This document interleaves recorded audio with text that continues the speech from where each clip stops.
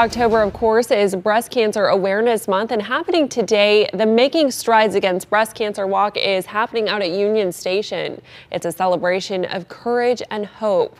Organizers say when people sign up for this walk, they're supporting breast cancer patients, survivors, and caregivers. Check-in starts at 8 this morning. The walk itself begins at 9 and Fox 2 is a proud sponsor of this event. Our own Mike Colombo will be emceeing the walk and I'll be out there later this morning too. So if you see us out there, make sure you come up to us and say hi.